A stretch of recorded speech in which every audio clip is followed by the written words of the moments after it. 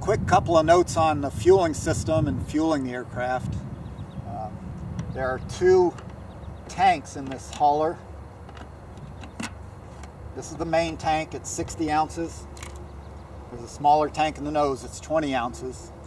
They're in series, which means the large tank or the main tank feeds into the 20 ounce, which then feeds into the engine.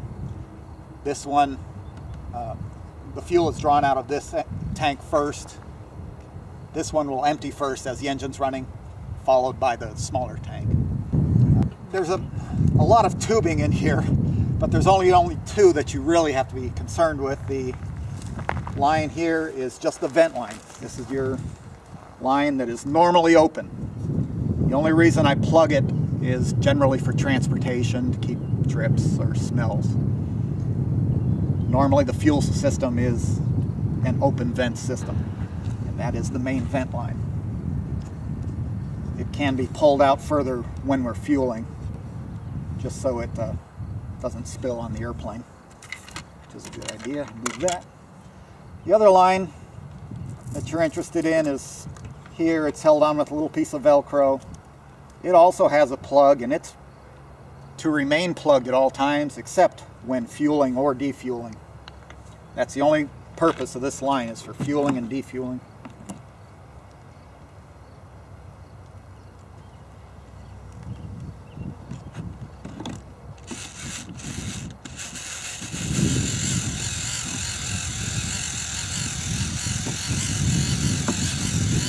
Fueling works opposite from the, the draw in that uh, I'm actually filling the small tank first and then the larger tank.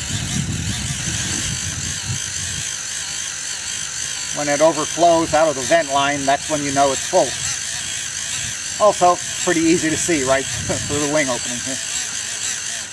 That's, that's nearly full. You might actually be able to get a little more fuel in if you tip it.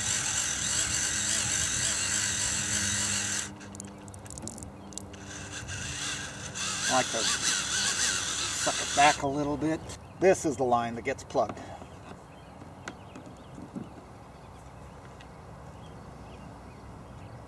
At all times.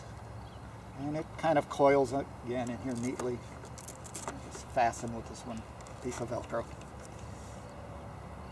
Fuel system is full.